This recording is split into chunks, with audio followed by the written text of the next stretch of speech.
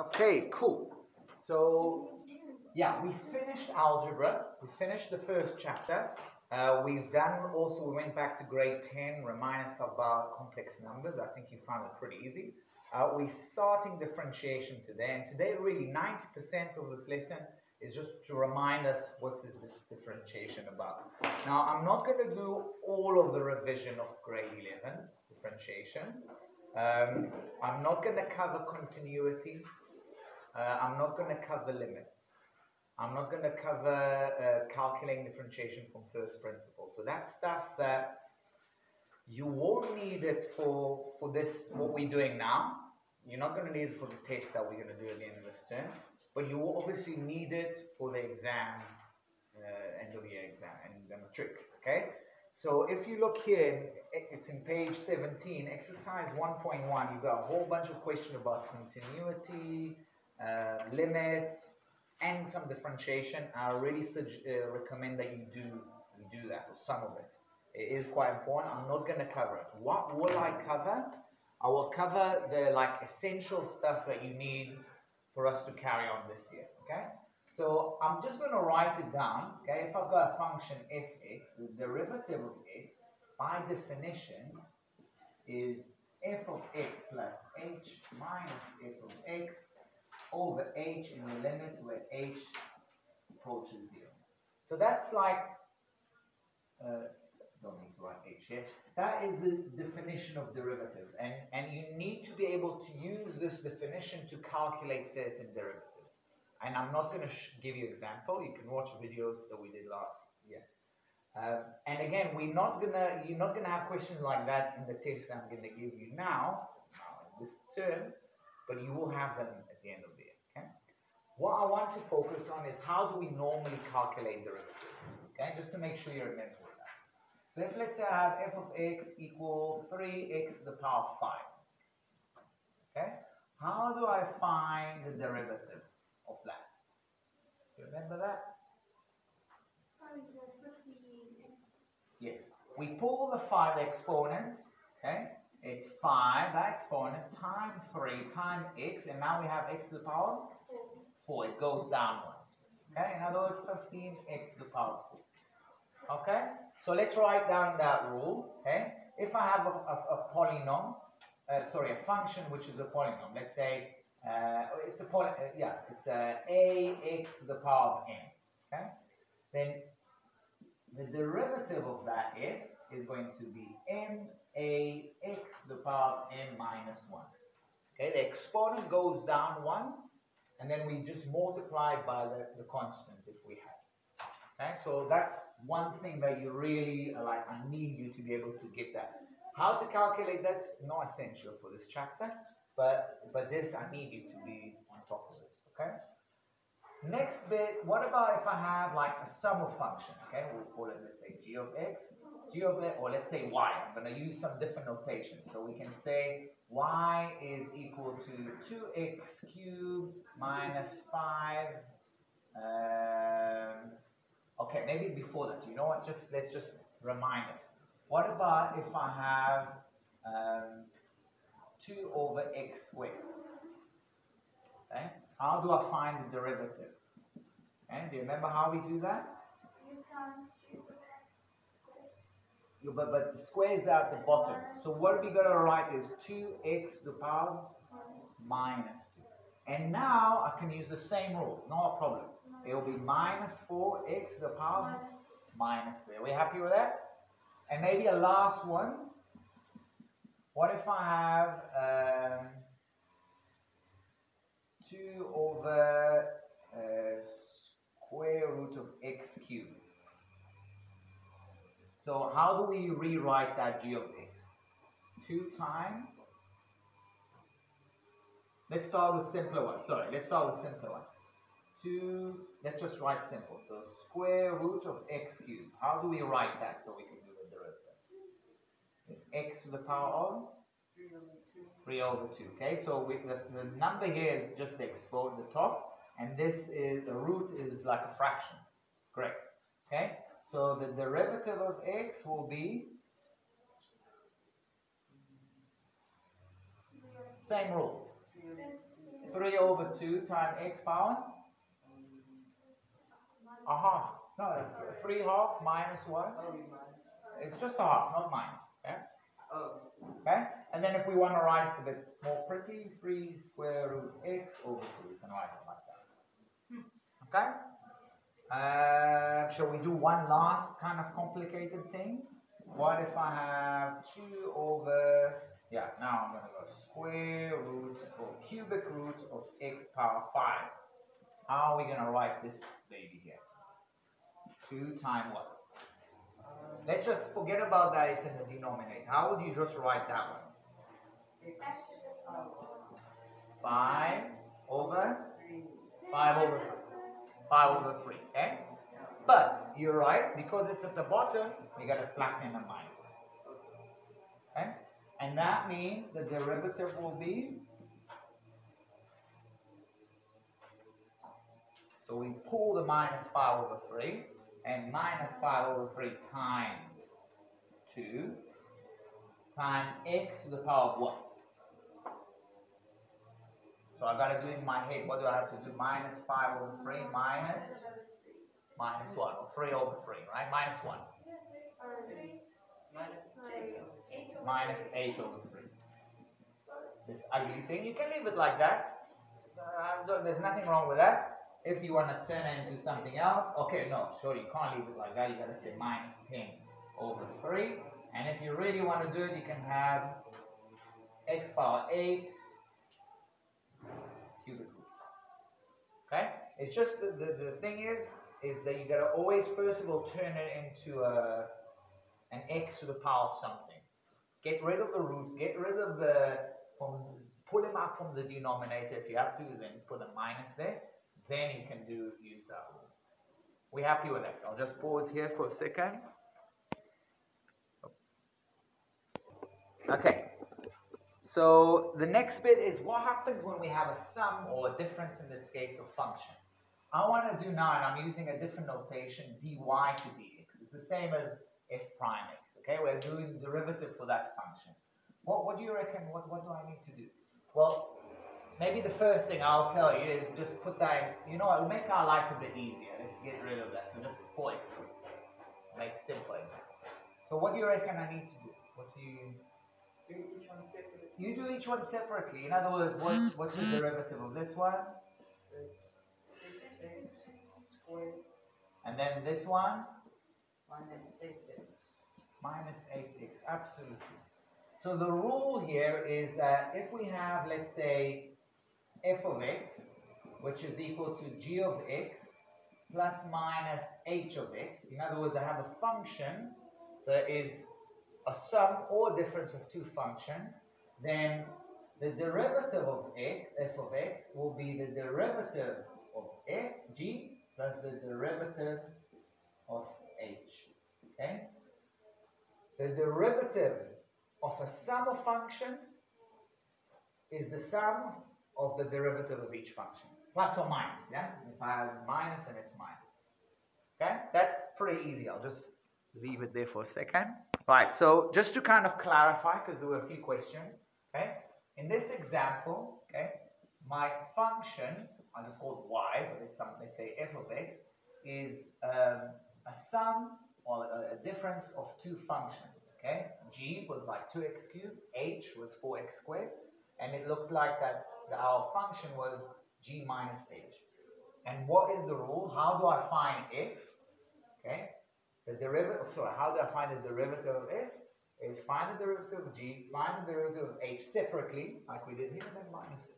It's, it's so kind of intuitive that you don't even understand why have I done something here? Yes. Right. Right, now we're going to look at a different situation. So what happens if I have a situation where I have, let's say, a function which is a product of two functions. Okay? Let's say I have f of x equal 2x cubed, uh, I'll write it like this, time um, x power 4. Okay? Now, how should you do? Uh, and, and I want to find out what's the derivative of and I want to find out what the derivative. What should you do? What should you do? Yeah, what I should do is multiply it.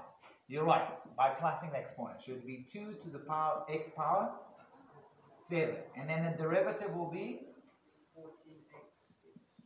Yeah, that, that's what you should do.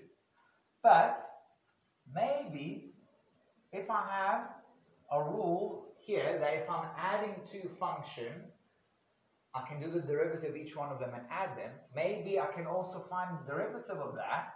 So let's let's see if, if, if that's the case as well. Maybe I'm putting a question mark. I can find the derivative of that, find the derivative of that, multiply it. Maybe I should get the same answer, no? Let's see. What's the derivative of 2x cubed? 6x squared. And x power 4? 4x cubed. So what am I getting? 24x to the power 5, which is definitely not the same as the, the correct answer. So in other words, I don't have a rule like that. Okay? Right? I don't have a rule like that. That is wrong. Okay? I, I will write it and then I erase it. Okay? If f of x is the product, that's what we said, the product of two functions, that does not mean that I can just do the derivative of g times the derivative of h. Okay? That is wrong. Okay? Are we happy with that? Okay? We will learn next week the product rule. A way for us to actually do that, but in a legit way. Now you might say, why should I do that? Why can't I just multiply like uh, you know Rachel and, and Alu say just time it? But sometimes it's not going to be the case. Sometimes you'll have, let's say, f of x equals sine x times uh, 5x cubed. And then I can't multiply them anymore, but I still want to know the derivative. So there's a rule, but we haven't learned it yet. Okay? I'll pause here again. Just to finish up this thing, okay, we established that we can't find the derivative of a product of function by multiplying the derivative of each function. What do you reckon about division? Can, if I have f is equal to g over h, can I say the derivative of f is simply the derivative of g divided by the derivative of h? No. No. The answer again is no. We can't do it. Okay? That's the quintain rule, or I don't know how to say it exactly, but we will learn it also next week. Okay? So that's about that. This is pretty much all I need you to know from grade 11.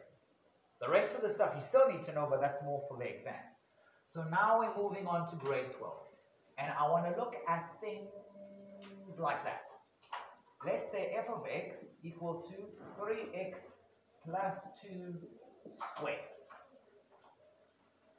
And I want to, I'm going to pause now in a second, but I want you to tell me what you think, how can I find the derivative of that? Okay, so I'll just pause here.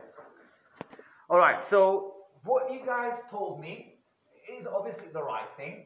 What I, I did, it's a product. It's 3x plus 2 times 3x plus 2. And that, I told you, you can't just find the derivative of each one of them multiply. We can't do that. So what we should really do is open it up, which is 9x squared. Please check me, guys. I'm notorious for making mistakes. Something like that. Huh? Right, 9x squared plus 12x plus 4. And then just, okay, now I've got plus, plus, plus, plus, sum of uh, function. I'll just find the derivative of each one of them. 18x plus 12, done. Okay? Are we happy with that? That's really the way you should do. But I'm angling here to find another rule. I'm angling to find another rule. Okay? And I'm just going to go with what Alu just told me. Or Alu said, she said, can you just take, because I've got like, like I had here, let's say f of x equal, or another one, g of x equal x squared, then all the, the derivative is going to be 2 times x, right? Maybe I can do the same thing. I'll pull the 2, time it by what, Adu? What do you reckon? Times by 3x plus 2. Okay. A and then 2 minus 1, so it's 1. Now let's see how much that is. 6x plus 4. Now, so the first thing, disappointment, disappointment, is not the same. But I'm very happy you've done it because what what's what is kind of similar? You have a pattern by, if you times six plus four by three, you'll get eight See. x. So you you've got okay, you didn't get the right answer, but if for some reason you multiplied it by three, then you will, right? I'll, I'll just write it down. So that was six x plus four. Now if this one we multiply by three, I don't know how to write. Well, Let's say more. I shouldn't write it equal, but you know what I'm saying, okay? Okay, if I multiply it by three, I don't want to write it because that's just wrong. Okay, so six x plus four. If somehow I multiply 6x plus 4 by 3, I will get the right answer. Okay? Now, where, where, where can I find the 3 here? Like, why 3? Where is that 3 coming from? Is there a 3 somewhere? I can see a 3. Yeah, but where is the 3? Tell me where is the 3? In front of the x, there's the 3. Oh. So, so I've got some, I'm trying to work out together a rule with you. This, what I'm suggesting will work as long as we multiply it by the thing in front of the x. So why is that? Okay, I'm going to try and work it out for you. Okay, so we, we're just together trying to work out the rule. So let's see what, what is that function. That function can be written like this, okay, f of x. I can write it as g of h of x. This is something we came across last year. It's called composite function. Okay? We sometimes write it like this. G circle h of x. Right. Big h of x. What does that mean? It means that I've got a certain h of x, which is, in this case, could be, let's say, 3x plus 2. And then the g of x is another function. It will be just squared. So I can make this out of a combination of two functions. Okay? What is 3x plus 2 all that square? Is like, okay, I'm going to take an h of it. I'll take an x. If I apply h on him, then that x becomes 3 plus 3x plus 2. And then I'll apply a g on him. What does g tells you? Put in the x, square it. Everything you put in, you square. Okay? Right? I'll, I'll repeat again. The h, what does the h do? It takes an x, multiply by 3, add 2. Bam. What does g do? Everything you give him, he squares it. So that on the other side will come out as 3x plus 2. Okay? So that was, if you remember, composite function last time. So we can write this. This is what we're working here. What we're trying to do is something called the chain rule. Okay?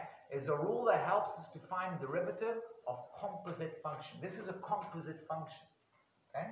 It's made out of g of h of x. Okay? g of h of x. Okay? Now, what is the rule? Okay? If I've got, uh, let's say I have f of x equal to g of h.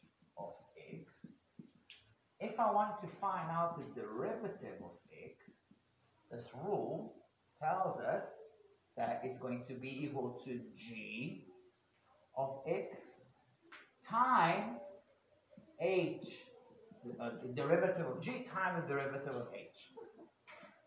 Okay? I can write it like this, h of x, maybe it's better. I just want to write it the same way they write it. Sorry, guys.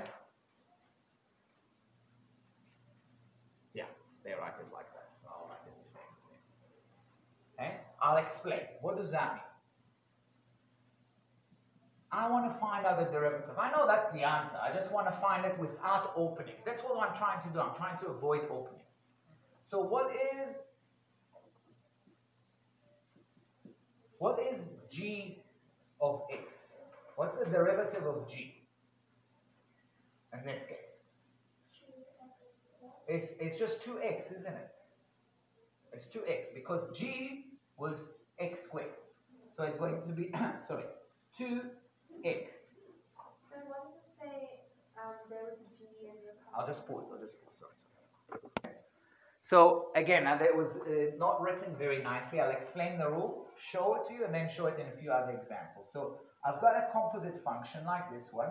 In this case, h of x is 3x plus 2, and g is just the square of it. If I want to find out the derivative of f without opening it up, Okay, because sometimes it can be dif- difficult. You might, you told me, what about if it's 18? That's why we're doing it. Because when it's 2, it's not a problem to open. What about if it's 18? So the rule tells me, okay, find the derivative of g of h of x. Okay? Find the derivative of g of, uh, of g of h of x. And then multiply it by the derivative of h. And I'll just show you. Okay? What is the derivative of g? We said it's 2x. Okay? But that's when it's g of x. What's the derivative? What is g of h? Sorry. What if instead of x, I'm putting here h of x? Okay. Well, in that case, sorry, it's going to be the square of h of x. So what will be the derivative of g? Is going to be 2h of x, right? 2h of x power 1 time the derivative of h. Okay, now what is h? h was 3x plus 2. I'll write it down. Oh, we ran out of time. Run out of space. I'll write it down here. Okay? It's 2 times h of x is 3x plus 2. Huh?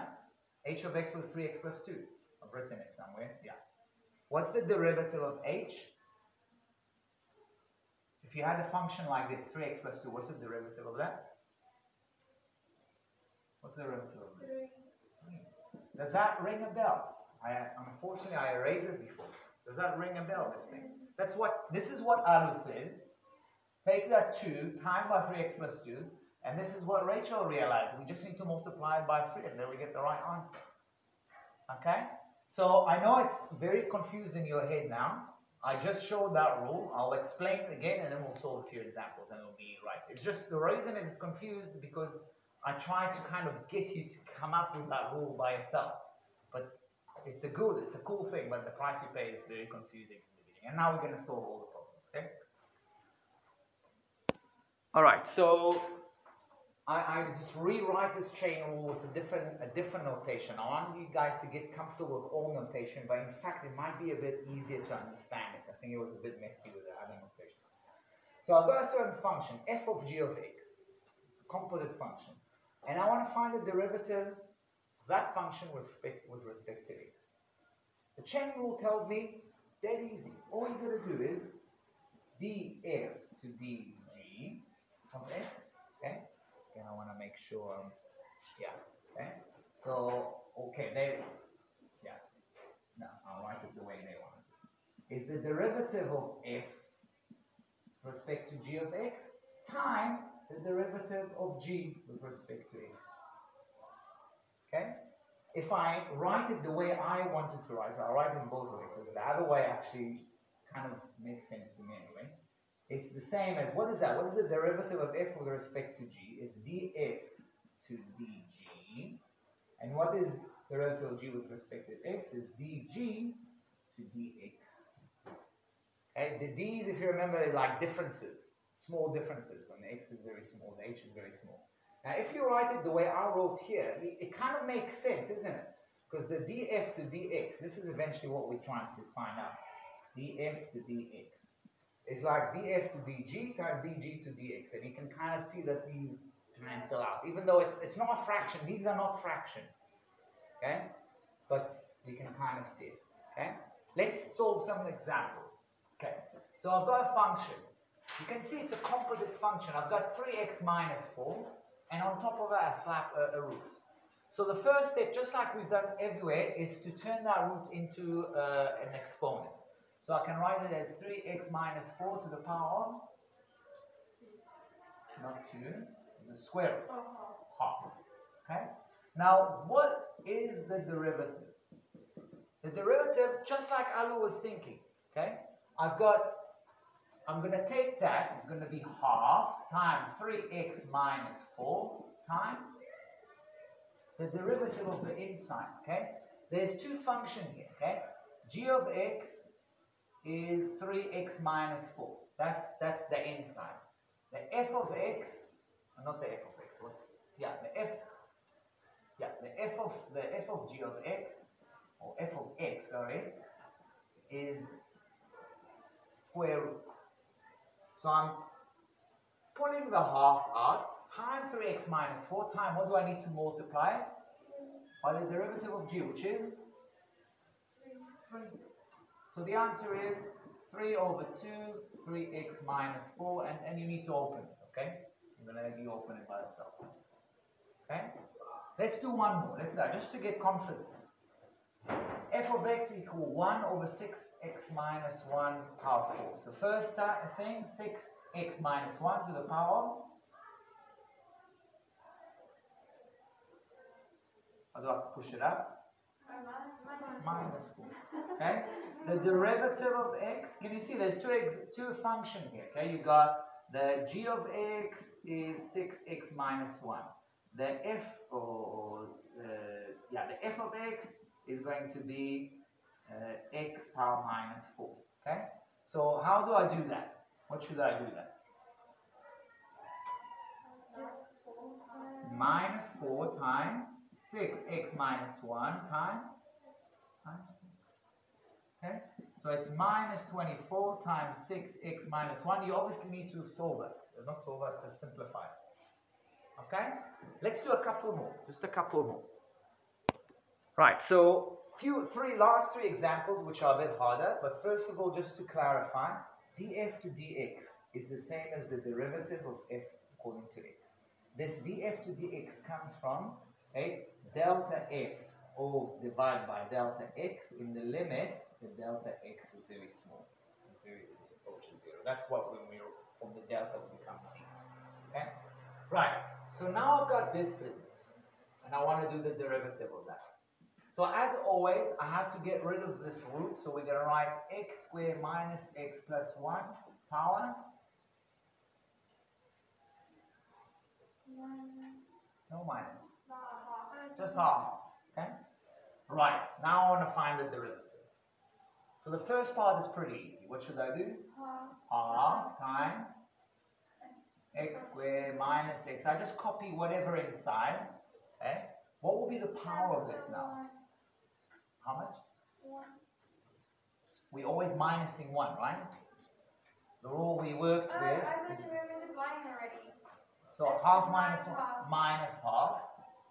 Right? And now I need to find out, multiply this by the derivative of the inside. Okay, first of all, I find the derivative of this whole thing, it's half times, as if this was x. Imagine if I have x half. If let's say y was equal x to the power of half.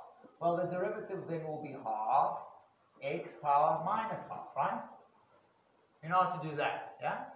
Now, instead of x, I've got this x squared minus x plus 1. So, well, I'm doing the same thing as if it was just an x. Half times this whole thing times power x, uh, power minus half. But now I need to multiply it by the derivative of what's inside the brackets. What's the derivative inside the brackets? A little bit more difficult now because it's a bit longer. It's what? 1. Two x minus. Oh, one. minus 1. Okay? Alright? So it's the same rule. Okay? Again, imagine this whole thing was just x. What will be the derivative? Not a problem. It will be half times x uh, power minus half. The half minus 1 is minus half. But now I don't have x. I've got this whole x squared minus x plus 1. So I'm starting the same thing. I'm saying half times this whole thing power minus half. But now the chain rule tells me I need to multiply by the derivative of the inside function. We have an in, it's like a babushka. You know babushkas? Okay, no babushkas. The, the Russians have uh, these little dolls inside the big dolls inside the Oh, big. Okay, so that's what it is. It's a babushka. A smaller babushka inside a bigger babushka. And if I want to find the derivative of the whole business, tell me, okay, find the derivative of the big babushka, and then time by the derivative of the small babushka. That's what I'm doing here. Okay? I'll find the derivative of the big babushka, that's the de- derivative of this bit, time it by the derivative of the small bit. Okay, now I know next time, babushka. Okay, now I still need to write it in a nice way. So 2x minus 1, that's on top, divided by, I've got 2, square root x squared minus x plus 1. Let's think about that for a second. Okay? Power minus half. What does it mean, power minus half? First, of all, minus means at the bottom. Half means square root. The 2 was, because it was 2, it was half. And the 2x minus 1 was on top. You can leave it like that. I can't take marks off if you leave it, not leaving like that. But I think we like to tell you to put it like this. Like with grade 9, I usually tell them, put it in a positive exponent so they understand what, what is this. Okay, let's work on these babushkas, okay? Right. How are we going to write this? 3x squared minus 2 to the power of minus 1. Okay? So we've got the big babushka is just that power minus 1. That's the big part babushka. Okay? And the little babushka is what's inside the brackets. That's the little babushka. Okay? So the derivative is first of all the big babushka. Okay? So what will be the derivative of the big babushka? Pull that one here, so it's minus 1 times square minus 2 to the power. What happens to minus 1? It comes? Minus 2. It always goes down. If we negative, it goes even more negative. Minus 1. It always goes down. Okay, we did the derivative of the big babushka. Now what? We need to multiply by the derivative of the small babushka, which is? Not 3, because I've got 3x squared. 6? 6 what? 6x. Right? Uh, what's, what's the derivative of this one? Well, the two goes, the two dies. If you have a constant, there's no, it becomes 0. 3x squared, the derivative is 6x. So let's see if we can write it down nicely. How do you think I can write? Who would like to tell me? So I've got minus. Yeah? 6x over 3 squared minus 2 to the power. That's it. Okay? It's, it's important to know actually have to write it like that. Yeah, I'll just leave it for a second. We've got one more example. Yeah. Okay, so the last one, we've got a little bit of a tricky one. Because I've got a square root, but it's not every over everything. First bit, you need to write it down as a, a, a, a brackets power something. So how are we going to write it? I've got 3. What should I do there? By minus 1, you're right. So square root x plus 2, all that power minus 1. You happy with that? Okay, now the derivative. Okay? So we got to think. What is, the big babushka is 3 times something power minus 1. Okay? 3 times x power minus 1. That's the big babushka. The small babushka is what's inside the brackets. Okay? Maybe I'll, I'll, I'll write it down. Okay? So, this is the small babushka. Okay? That is what we're going to have to eventually multiply by the derivative of.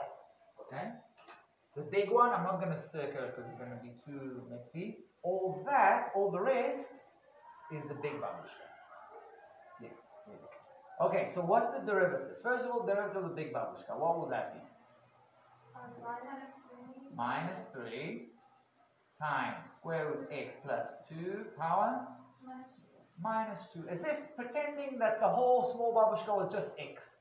You just That's what you're doing. You're the derivative as if the whole small babushka is just x. Okay?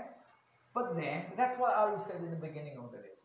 Now we need to multiply by the derivative of the small babushka. What's the derivative of small babushka? Half x power minus half. So it's a bit trickier. The, the two dies, okay, we have half, what is x? Square root x is x power half. So the half times x power minus half. Okay, if, you're not following that, I'll write it down here. Okay, if I've got the derivative, that's just going to make things more confusing. Are you happy with this? I, I think okay. Right, so now we need to write it nicely. That's hard something, eh? I've got the minus 3 above. I've got anything above else above? No, it's all negative exponents. Okay? So what do I have at the bottom? I have a 2. What else do I have? That one. Square root x plus 2. What do I need to square? square Time? Square root x. Sorry? Yeah, I, I think so. That's as hard as it gets for us right now. Okay? I'll stop here That's enough for now. No.